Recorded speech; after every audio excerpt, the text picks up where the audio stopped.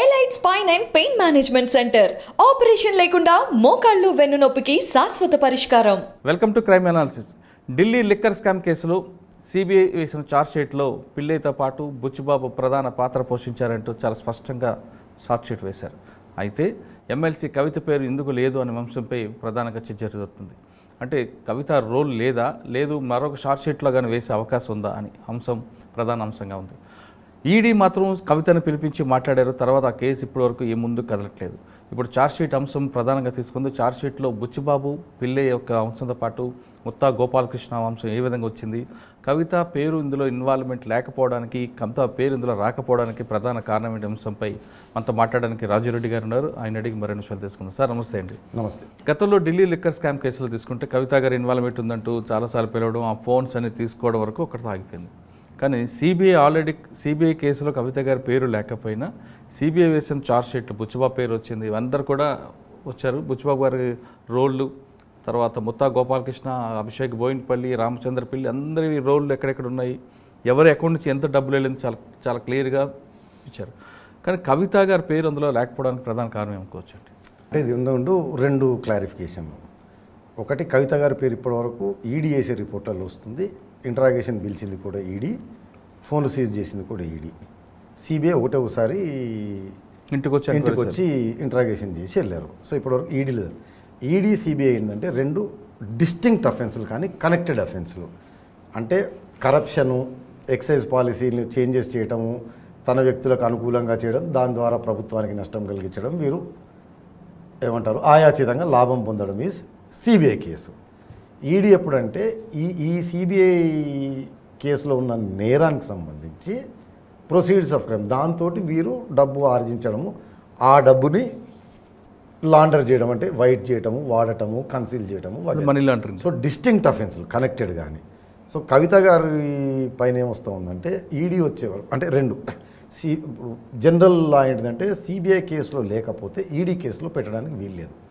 దానికి exception only condition ఏంటిదంటే ఈ ప్రధాన నేరం అంటే కరప్షను ఆమ్ ఆద్మీ పార్టీకి డబ్బులు ఇవ్వటాలు లంచాలు ఇవ్వటాలు ఆ ఎక్సైజ్ పాలసీ ఫార్ములేషన్లో అవకతవకలు లో ద్వారా జనరేట్ అయిన డబ్బును వాడడం.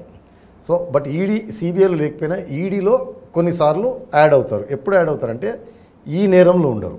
బట్ ఈ జనరేట్ అయిన డబ్బుల్ని కన్సీల్ చేయడంలో హైడ్ చేయడంలో ట్రాన్స్ఫర్ చేయడంలో వచ్చే వాళ్ళ కోసం వస్తారు. ఇప్పుడు మనం కంజైంట్ రీడింగ్ ఆఫ్ సిబిఐ ఇప్పటివరకు వేసిన రిపోర్ట్లు ఈడీ ఇంకో క్లారిఫికేషన్ ఏంటిదంటే సిబిఐ నిన్న వేసిన ఛార్జ్షీట్ ప్రధానంగా ఫోకస్ అవుదని మనీష్ సిసోడియా గారు. తర్వాత అర్జున్ పాండే అని చెప్పి ఐ థింక్ ముత్తా గౌతమ్ గారి ఎంప్లాయీ. బుచ్చిబాబు ఇంకో ఇద్దరు ముగ్గురు. ఆ, వారిపైన ఎక్కువ లేదు. ఎక్కువ వీరిపైన ఉంది బుచ్చిబాబు పైన ఉంది. రామచంద్ర పిల్లే గురించి లేనే లేదు పెద్దగా ఈ ఛార్జ్షీట్లో బుచ్చిబాబు మీద ఉందండి. బుచ్చిబాబు మీద ఉంది. సో ఇప్పుడు ఈ రెండు కేసుల్లో అంటే ఈ కేసు బ్యాక్గ్రౌండ్ ఏంటిదంటే south group Delhi liquor policy ఫార్ములేషన్లు involve అయ్యి ఆమ్ ఆద్మీ పార్టీకి సంబంధించిన పెద్దలకి వారి మనుషులకి లంచాలు ఇచ్చి కిక్ బ్యాక్ వంద కోట్లేదు కిక్ బ్యాక్ ఇచ్చి వారికి అనుకూలంగా పాలసీని ఫ్రేమ్ చేయించుకొని తద్వారా రీటైలు హోల్సేల్ డిస్ట్రిబ్యూషన్ లైసెన్సులు పట్టుకొని దాని ద్వారా డబ్బులు ఈ కిక్ బ్యాక్ని రీకూపరేట్ చేసుకున్నారు వెనక్కి తీసుకున్నారు లాభాలు ఆర్జించారు అనేది. దీంట్లో ఇప్పుడు సిబిఐ ఛార్జ్షీట్లో ఎందుకు కవిత గారి పేరు లేదు ఈడీలో ఎందుకు ఉందన్న దానికి దీనికి ఒక రెండు మూడు రీజన్స్ చెప్తాను విశ్లేషించుకోవడానికి. కవిత గారు ఆ లిక్కర్ బిజినెస్ ద్వారా జనరేట్ అయిన డబ్బుల్లో ఉన్నారు ఇన్వాల్వ్ అయిందనేది ముందు నుంచి చెప్పుకుంటూ వచ్చి లాస్ట్ లింక్ మొన్న లాస్ట్ వేసిన రిపోర్ట్ ఈడీ వేసిన రిపోర్ట్లో తన బేనామీతోటి వట్టినాగులపల్లిలో ఏదో భూమి కొనిచ్చుకున్నారు. అది ఈ లిక్కర్ బిజినెస్ ద్వారా generate which is proceeds of crime ఆ క్రైమ్ ద్వారా వచ్చింది అనేది అక్కడికి లింక్ చేసుకుంటూ తీసుకొచ్చారు. సిబిఐ వరకు వచ్చే వరకు ఈ రెండు రిపోర్ట్ల కంజాయింట్ రీడింగ్ ఏంటిదంటే సౌత్ గ్రూపే డబ్బులు కిక్ బ్యాక్ ఇచ్చి ఇన్ఫ్లుయెన్స్ చేశారు అని. సో ఈ సిబిఐ ఛార్జ్ షీట్లో ఇంకా లేకపోవడానికి కారణం ఏంటంటే రెండు మూడు. ఒకటి బహుశా కవిత గారు కిక్ బ్యాక్స్లో నాట్ ఇన్వాల్వ్ డబ్బులు ఇవ్వడంలో తీసుకోవడంలో. లేనే ఉండనే ఉండకపోవచ్చు. లేదా ఈ kick backs policy formulation involve కానీ తను ఏ క్యాష్ ట్రాన్సాక్షన్లో కానీ ఈ లంచాలు ఇవ్వడం తన ఇన్వాల్వ్మెంట్ లేదు. ఓన్లీ తన ఇన్ఫ్లుయెన్స్ తన పరిచయాల్ని వాడుకొని ఈ సౌత్ గ్రూప్కి ఫెసిలిటేట్ చేసి వారి పరిచయం చేయించి వీరు మా వ్యక్తులు. ఎందుకంటే ఆ రిపోర్ట్లలో చాలాసార్లు very influential person from Telangana very influential person from south అని రిఫరెన్స్ వచ్చింది. సో తన ఇన్ఫ్లుయెన్స్ని తన పరిచయాల్ని వాడుకొని ఒక ముఖ్యమంత్రి కూతురు కింద అరవింద్ కేజ్రీవాల్ గారితో ఉన్న ప్రాక్సిమిటీ తోటి వీరికి ఫెసిలిటేట్ చేసి పిచ్ ఉండొచ్చు సో అది కూడా దీంట్లో భాగం కాదు. అంటే క్రైమ్ కింద రాదండి? అంటే అదే ముందు ఈ మూడు సినారీలు చెప్పనియండి సో ఫెసిలిటేషన్ వరకే ఆవిడ ఉండొచ్చు. మూడవది వచ్చే వరకు తన ఇన్వాల్వ్మెంట్ ఉంది ఫెసిలిటేషన్లో ఉండొచ్చు ఆర్ డబ్బుల్లో ఉండొచ్చు కానీ ఇప్పుడు పాయింట్ ఏంటంటే ఈడీకి పిఎంఎల్ఏ యాక్ట్కి ఉన్న పవర్స్ సిబిఐకి సిఆర్పిసి కింద ఉండవు. ఓకే. ఒకటి. రెండవది పిఎంఎల్ యాక్ట్లో ప్రిజంప్షన్స్ ఉంటాయి. సిఆర్పిసిలో ప్రిజంప్షన్స్ ఉండవు. Presumption opposite presumption of innocence ఉంటుంది. సో ఈడీలో ఫిక్సప్ చేసినంత ఈజీగా సిబిఐ ఫిక్స్ సిబిఐ చేయలేదు. ఎందుకంటే ఈడీలో ఒక వ్యక్తి ఇచ్చిన స్టేట్మెంట్ ఇది అడ్మిసబుల్ స్టేట్మెంట్ ఆ స్టేట్మెంట్తో పాటు ప్రిజంప్షన్ ఉంటుంది కాబట్టి రిమైండ్ చేసుకోవచ్చు. బట్ సిబిఐ వచ్చే వరకు మనం ఇంతకుముందు అవినాష్ రెడ్డి గారు దాంట్లో చెప్పినట్టు కన్ఫెషన్ పైన అరెస్టులు కుదరవు అరెస్ట్ కుదిరినా ఏమంటే బెయిల్ వస్తుంది. అది. ఇప్పుడు ఫెసిలిటేట్ చేసిందన్న దాంట్లో కూడా కొన్ని రిపోర్ట్లలో ఏమొచ్చిందంటే very influential from person from south India అంటూ కొన్ని మీటింగ్లలో ఆవిడ అటెండ్ అయ్యారు. సమీర్ మహేంద్రతో ఫేస్ టైం ఏదో మాట్లాడారు ఇంకోనో కలిశారు. ఢిల్లీలో ఏదో హోటల్లో కలిశారు. ఇంకో వ్యక్తి ఎవరో హైదరాబాద్ వచ్చి ఈవెంట్ ఇక్కడ కలిశారు అన్న వరకు వస్తుంది. డైరెక్ట్ అయిపోయినా కాన్స్పిరసీలో ఈ లంచం ఇవ్వడం ఫార్ములేషన్ కాన్స్పిరసీలో ఉన్నారు అనేది కనపడతా ఉంది వాళ్ళ రిపోర్ట్లలో. కానీ నేను అన్నట్టు సిబిఐ సిఆర్పిసి ప్రకారం డెఫినెటివ్గా లింక్ చేయడం. అచ్చా. కుదరట్లేదు. అందుకని సిబిఐలో ఇప్పటివరకు రాలేదు. ఇంకోటి ఏంటంటే ఇప్పుడు ఈరోజు చేసిన మనీష్ సిసోడియా వీళ్ళందరూ కవిత గారికి డైరెక్ట్ కనెక్షన్ కాదు. ఓకే. బుచ్చిబాబు గారు ఒకరు డైరెక్ట్ కనెక్షన్. కానీ ఈవిడకి డెఫినెట్గా రావాలంటే ఇన్ ఫ్యూచర్ రామచంద్ర పిల్లే పైన ఛార్జ్ షీట్ వేసినప్పుడు ఏదన్నా సిబిఐలో వచ్చే అవకాశం ఉంటుంది. సార్ కవిత గారు బినామీ బుచ్చిబాబు ఆడిటర్ బుచ్చిబాబు అంటున్నారు కదా. మరి బుచ్చిబాబు ఇచ్చిన స్టేట్మెంట్లో ఈవిడ ఇన్వాల్వ్మెంట్ కనిపిస్తుంది కదా. ఆహా నేను చెప్పేది అదేనండి మీకు. బుచ్చిబాబుని కవిత గారు బెనామీ అనలే. కవిత గారు రిప్రజెంటేటివ్ అంటున్నారు అక్కడ చేశారంటున్నారు. అరుణ్ రామచంద్ర పిల్లి అని ఆవిడ బెనామీ అంటున్నారు. ఆ ప్రాపర్టీ వరకు ఆయన కొన్న ఐదు కాదు కాదు కాదు. అక్కడే మళ్ళీ మీకు. ఈడీలు ఏం చేశారంటే ఆ కొన్న ప్రాపర్టీ కవిత గారు దాన్ని లింక్ చేయడం కోసం ఆ కొన్న ప్రాపర్టీ డబ్బు ఇండో స్పిరిట్స్ అనే ఢిల్లీకి చెందిన కంపెనీ నుంచి వచ్చింది. అవును. ఆ కంపెనీకి ఆ డబ్బు ఎక్కడి నుంచి వచ్చిందంటే రామచంద్ర పిల్లి ఏదో ఇన్వెస్ట్మెంట్ చేశాడు ఆ ఇన్వెస్ట్మెంట్ తోటి జనరేట్ అయిన ప్రొసీడ్స్ అన్నారు. రామచంద్ర పిల్లే ఆ ఇన్వెస్ట్మెంట్ ఎక్కడి నుంచి వచ్చిందంటే వెన్నమనేని శ్రీనివాసరావు అనే వ్యక్తి నుంచి రామచంద్ర పిల్లికి వచ్చింది. అవును. వెన్నమనేని శ్రీనివాసరావు గారు సెక్షన్ ఫిఫ్టీ కింద ఇచ్చిన స్టేట్మెంట్లో ఇది కవిత గారి డబ్బు కవిత గారు చెప్తే నేను రామచంద్ర పిల్లేకి ఇచ్చాను. అట్లా లింకప్ చేశారు. So ED eleven section fifty statement కాబట్టి Srinivasarao statement is sufficient to admissible evidence కాబట్టి. ఒక విధంగా సఫిషియంట్ రెండోది ప్రిజంప్షన్ ఉంది. సరే దాన్ని ట్రయల్లో కొరాబరేటింగ్ ఎవిడెన్స్ ఉంటేనే నిలబడుతుంది. కానీ అరెస్ట్ చేయడానికి రిమాండ్ చేయడానికి బెయిల్ రిజెక్ట్ చేయడానికి ఇది సరిపోతుంది. వేరే ఈ సెక్షన్ ఫిఫ్టీ పవర్ సిబిఐకి ఉండదు సిఆర్పిసి. కాబట్టి ఈ స్టేట్మెంట్లు బుచ్చిబాబు స్టేట్మెంట్లు సిబిఐలో పనికిరావు. ఈడీకి పనికి వస్తుంది ఈడీకి మాత్రం పనికొస్తుంది. ఓకే. సార్ ఇప్పుడు కవిత గారు డైరెక్ట్ రోల్ లేకపోయినా దీన్ని మన పిట్ ప్రో కింద తీసుకోవడం కదా నేను అనేది ఫస్ట్ ఆవిడ కిక్ బ్యాక్స్లో ఉన్నారో లేదో మేబీ తన ఇన్ఫ్లుయెన్స్ అంటే మా మా మనుషులు ఫేవర్ చేసి పెట్టండి అంటారు. దట్ ఇట్ సెల్ఫ్ నేరం కాదు. లేదా తన ఇన్ఫ్లుయెన్స్ ప్రగాఢంగా చాలా వాడి ఎలాగోలాగ ఇప్పించి డబ్బులు తీసుకోండి అనడం కాన్స్పిరసీలో భాగం. మూడోది తన ఇన్ఫ్లుయెన్స్ వాడుతూ వీళ్ళని కల్పిస్తూ ఆ కిక్ బ్యాక్స్లో కూడా ఆవిడ ఉండడం. అంటే తను డబ్బులు ఇవ్వటము తను అందులో షేర్ ఇవ్వటము లేదా వాటిని ట్రాన్స్ఫర్ ఏదో ఉండడం. బట్ ఈ రిపోర్ట్ల ప్రకారం చూస్తే సిబిఐ దగ్గర డబ్బులు ఇవ్వడం పుచ్చుకోవడంలో ఇన్వాల్వ్మెంట్ ఉన్నట్టయితే కనపడట్లేదు. కిక్ బ్యాక్స్లో కనపడట్లేదు. ఇప్పటివరకు ఉన్న రిపోర్ట్స్ ప్రకారం. కొన్ని రిపోర్ట్స్లో కొన్ని మీటింగ్లు అటెండ్ అయ్యారు అంటే ఈ పాలసీ ఫార్ములేషన్ మీటింగ్ అంటే ఏదైనా కాన్స్పిరసీలో ఇన్వాల్వ్ అయి ఉండొచ్చు. మూడోది తన ఇన్ఫ్లుయెన్స్ వాడి ఉండొచ్చు. అయితే ఈ రెండింటిని లింక్ చేస్తే సిఆర్పిసి కింద ఓరల్ స్టేట్మెంట్ల మీదనో వాడన్న స్టేట్మెంట్ మీదనో మీరు కవితను ఇన్వాల్వ్ చేయలేం. చేయలేమన్నమాట. ఓకే. ఎడిషనల్ ఎవిడెన్స్ కావాలి. డెఫినెట్గా లింక్ చేస్తాం. అంటే ఇది ఇంకా ఫైనల్ కాదు కాబట్టి ముందు ఫర్దర్ ఇన్వెస్టిగేషన్ వచ్చే అవకాశం ఉంది రామచంద్ర పిల్లె పైన ఎక్కువ లేదు ఈ చార్జ్ షీట్లో అసలు లేదు నాకు తెలిసి. So in future Ramachandra Pillai వచ్చే వాటిలలో ఏమన్నా వస్తుందా లేదా? లేదా ఇంకో సినారియో కవిత గారు అసలు ఈ కిక్ బ్యాక్స్ దీంట్లో లేనే లేదు. తను పరిచయం చేశారు తన పరిచయాన్ని వాడుకొని ఏదో చేశారు బట్ క్రైమ్లో ఇన్వాల్వ్మెంట్ లేదు. బట్ ఈ జరుగుతున్న బిజినెస్ లుక్రేటివ్గా ఉంది.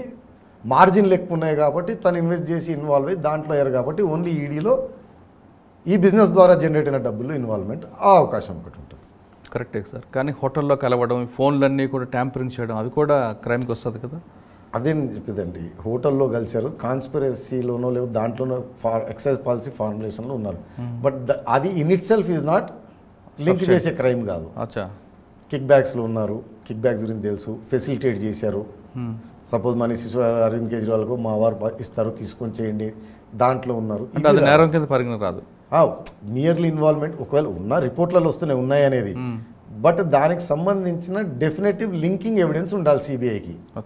అన్లెస్ ఈడీలో అయితేనేమో రామచంద్ర పిల్లే స్టేట్మెంట్ బుచ్చిబాబు స్టేట్మెంట్ అదే అరవింద్ కేజ్రీవాల్ కూడా ఈ మధ్యన ప్రెస్ కాన్ఫరెన్స్ ఎవరో స్టేట్మెంట్ మీద అరెస్ట్ చేస్తారా అని అన్నారు. ఈడీకి ఆ వెసులుబాటు ఉంటుంది స్టేట్మెంట్ అడ్మిసబుల్ ప్రిజంప్షన్ ఉంది ప్రిజంప్షన్ ఆఫ్ గిల్ట్. ఓకే. కానీ ఇప్పుడు ఫైనల్గా తీసుకుంటే ఈడీ పిలిపించారు ఆ ఫోన్లు తీసుకున్నారు. తర్వాత ఎందుకు ముందుకు వెళ్ళలేదండి?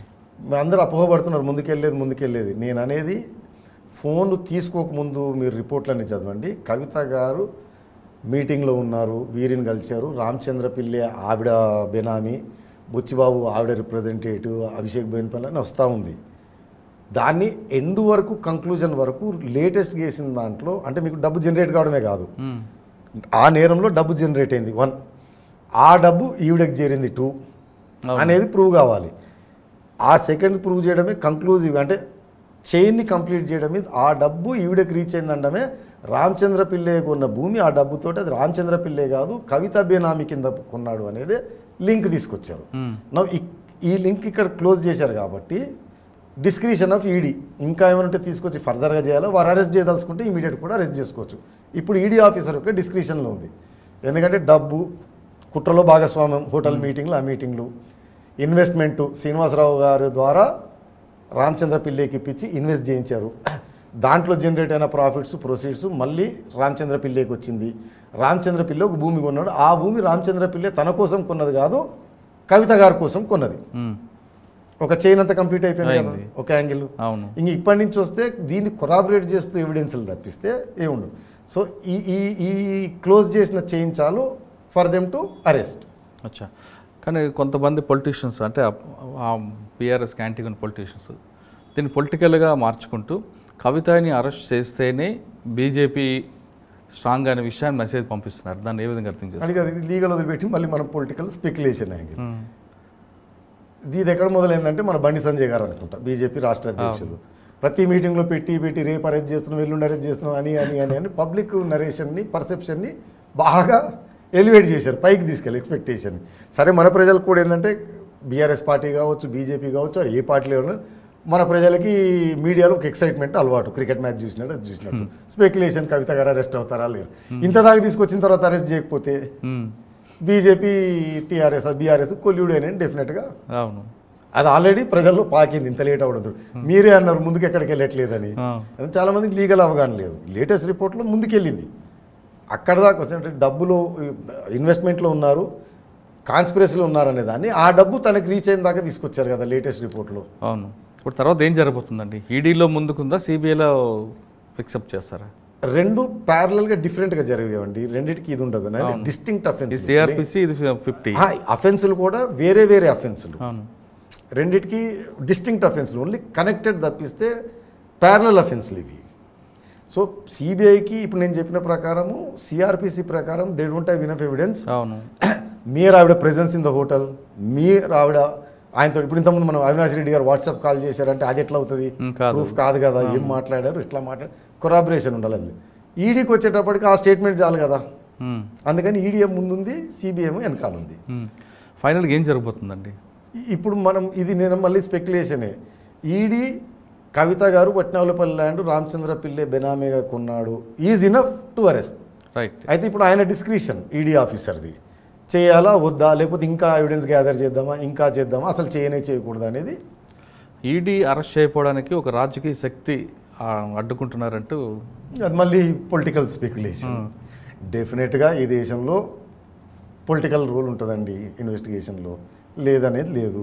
కానీ అరెస్ట్ కాకపోతే బీజేపీ బీఆర్ఎస్ బంధం ఉన్నట్టు విషయం ఎస్టాబ్లిష్ చేసే అవకాశం కనిపిస్తుంది కాంగ్రెస్ అది. నిజంగా లేకపోయినా సరే పబ్లిక్ నరేషన్లోకి వచ్చేస్తుంది. పబ్లిక్ స్పెక్యులేషన్ కాంగ్రెస్ పార్టీ అదే చాలా స్పష్టంగా చెప్తుంది కదా.